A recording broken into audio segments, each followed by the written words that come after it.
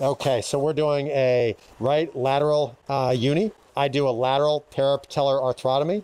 My incision is just above the patella down towards the tibial tubercle. I put my pins in one hand breadth below the tibial tubercle and one hand breadth above the tibial tubercle, and I put my pins in unicortical. So I typically start by my pin placement.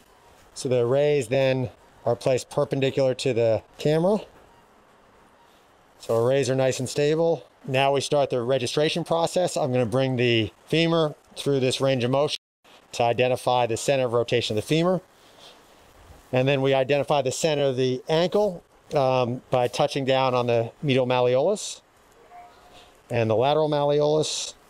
And then the computer can calculate where the center of the ankle is from those two landmarks.